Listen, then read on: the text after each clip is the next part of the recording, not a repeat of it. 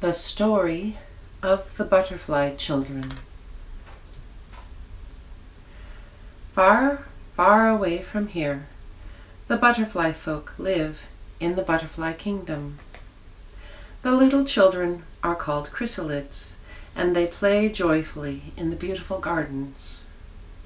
The butterfly maidens watch over the chrysalids as they play and tell them all about the plants and the pretty, brightly colored flowers. How wonderful they smell! The butterfly folk are very happy to have such fine gardens. How lucky they are! The chrysalids' baby brothers and sisters are called caterpillars. Their nursery is in the green meadow where Mother Silk Moth and Mother Swallowtail take care of them. They spin new gowns for the little caterpillars and make sure their bottles are filled with green leaf juice.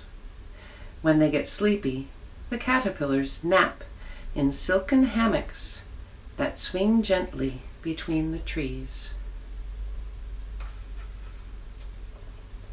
Every afternoon the chrysalids go to Madame Dragonfly's dancing school, and there they learn how to dance among the flowers and balance on the thin stalks and grasses. Madame Dragonfly takes their hand and helps them to practice. One day they will all be as graceful and elegant as she is. The first day of spring is a very special day. The spring sun sends his messengers, the sunbeams, down to the butterfly kingdom, and they present the chrysalids with their wings. How noble the sunbeams look in their golden robes, and how brightly their golden lances shimmer. What an exciting day! The cabbage white and the brimstone butterflies are the first to receive their wings. Well, they have learned all about the flowers and the plants, and how to dance and weave among the stalks and grasses. They have done well. Together they flutter happily over the green meadows.